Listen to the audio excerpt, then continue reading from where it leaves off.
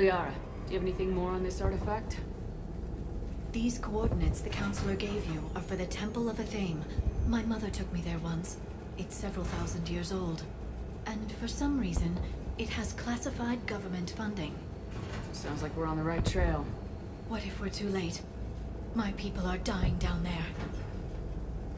Your empathy is a weakness. You must numb yourself to loss. Benezia took you to this temple? I was just a child. I thought it was a history lesson, but now... Maybe there was more to it. What do you mean?